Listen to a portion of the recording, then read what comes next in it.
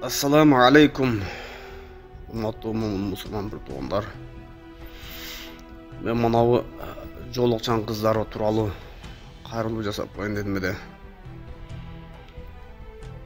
садыр жапаров камчыт ташиев сизди биз сиздерди биз дагы шайладык биз дагы сиздерге мындай айтканда доверие билдирдик камчыт ташиев баамдаттан чыгып сүйлөсөңүз чубак ажыны сыйлаганыңызды көрүп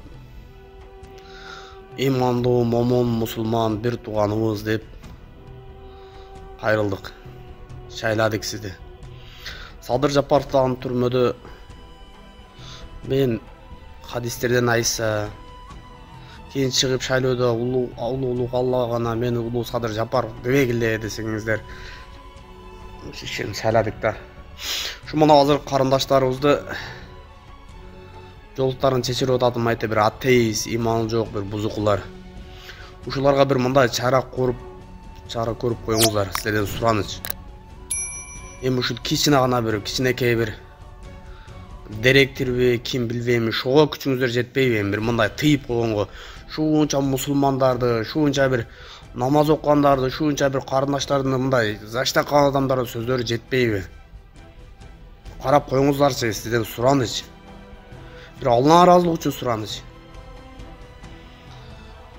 биз ошол сиздерге ушунчалык ишенгенибизден шайладык башка акча үчүн бир неме үчүн эмес алланын ыраазылыгы үчүн карап коюңуздар сиздерден сураныч мына ушул эле райондо мугалимдердин кысымынан көптөгөн кыздар ыйлап кайрылышкан жолукту баары чечесиңерди айттыңыз го эжеке сиз өзүңүз деле айттыңыз айтчырак эжеке далең эжеке өзү ham айтты чечесиңерди кечээ мага өзүм билем деп түртүп түртүп чыгарып жүрүп кайра апам келсе чечтиргизбе тиешелүү жерлерге кайрылткызбай эле кой кыздарыңы деп ушундай депсиңер директорубуз бизди урушуп бул нерсе уставда жок мынтикенге силер такыр мүмкүн эмес.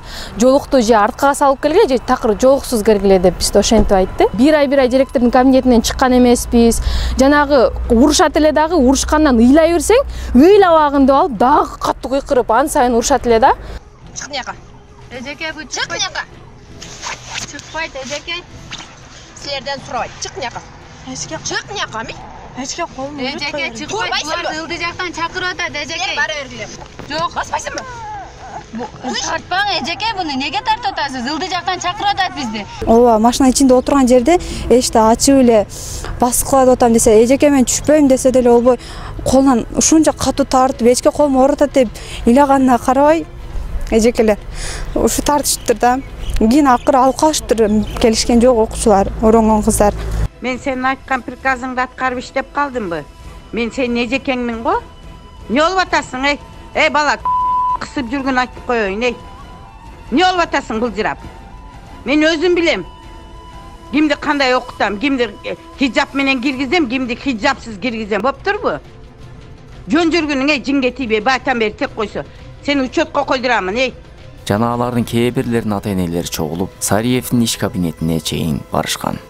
бир кыздар жолугуу үчүн жемеге алынып аларга психикалык катуу сокку болгондуктан өздөрүнүн жанын кыюуга да аракет кылышкан сенин аркаңан мен ушунча проблема кылтам сен деп эртемендеп бери башым ооруп атат андай мындай сен сен деп баардыгын ушунча ар сабакта ыйлатып чыгып атат да. Эжеке неме депчи сен андай сен эмне айтасың сен эмне мынтасың деп анан кийин болсо сен неме деп ар бир аракетке киришип сен жалган сүйлөп атасың сен жалганчысың деп.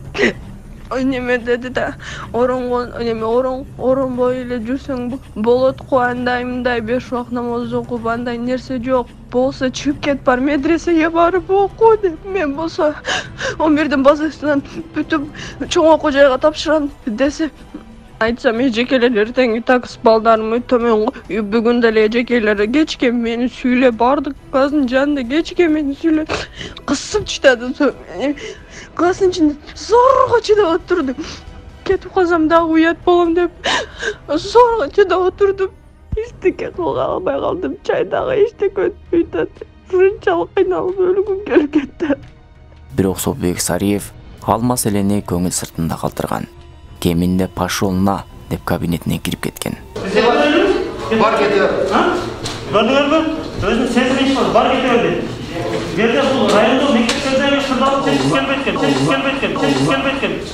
Ұқтарып пошел на деген ұқтар ма прокурор болсо андай факт катталган жок деп тим болду эми минтип кайрадан сентябрь айында кайталанып жатат негизи сариев урматтуу жетекчилер эми жоолукка каршы болбогула. Мыйзамда жоолук менен мектепке кирүүгө тыюу салбайт экен. Устав деген балени четке сүрүп койгула. Эгер ал мыйзамга каршы келсе мындан кийин бириңдин да жоолукчандарга кысым кылганыңарды укпайын. Натыйжасында мен эле элге жаман көрүнүп жатам деп мугалим директорлорго катуу эскерткендин ордуна кайра коомчулукту дүрбөтүп элдин кычырына тийип жатат. Демек бул киши маселенин алдын алгысы келбейт экен. Тескерисинче мугалим директорлордун үшүн алып коркутуп үркүтүп иш алып барып жатыптыр.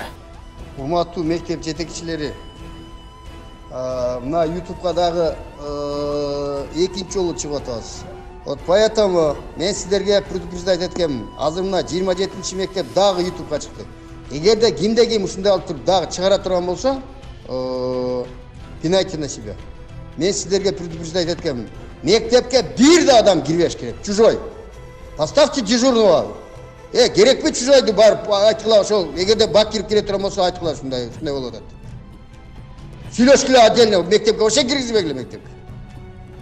Дагы чыга турган болсоңор эгерде ютубка анда өзүңөрдөн көргүлө өзүңөрдөн көргүлө өзүңөрдөн көргүлө балким мугалимдерди да ушул жол менен митингге чыгаргандыр урматтуу бийлик төбөлдөрү биз мыйзамдуу өлкөдө жашайбызбы же сариевке окшогондор менен талашып тартышып жүрө беребизби бул киши коомчулук менен мугалимдердин ортосунда чоң карама каршылыкты пайда кылып жатат жана бийликтегилерди элге жаман көрсөтүп жатат бүгүнкү биздин келечектеги муунубуз болгон жаш окуучулар укуктуу татыктуу илим алышка тийиш да бирок ушундай укуктуу илим алышына каршы болгон бүгүнкү күндө мектептерде өтө бир чоң көйгөйлөр пайда болду.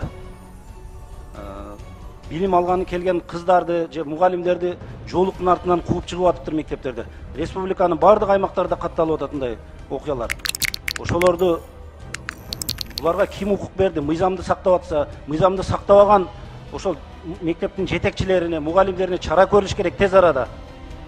Алар мектепке келе албай атыптыр жоолугуңду чечпесең мектепке кирбейсиң деп атыптыр бизге өтө көп кайрылуулар болуп атат. Кааласаңыздар далилдеrini беремин. Чара көрүлүш керек. Эмне үчүн мыйзамды сактабай аталар өздөрү? Биздин мектептин уставы бар деп кээ биркилер киргизбей атышыптыр. Мыйзам болгондон кийин устав мыйзам жогору турат да. Эми баардык мамлекеттерде ошо жоолукчан кыздар барып атат. Европада россияда америкада барып атышат мектептерине. Биз дагы укуктуу мамлекетпиз мыйзамда так жазылган дин тутуу эркиндиги. Алардын акысыны укугуну ким эмне үчүн тебелейт алар жооп бериш керек аларга сөзсүз төрайым сиз протокол тапшырма берип койсоңуз ал каралыш керек. Ошо директорлорго катуу чара көрүлүш керек. Мектептерде кыздарды мугалимдерди киргизбей коюшка акысы жок алар. Бул кишиге чара көрүп иштен алынуусун бийлик төбөлдөрүнөн суранып кетебиз. Ассаламу алейкум рахматулла ва баракатух.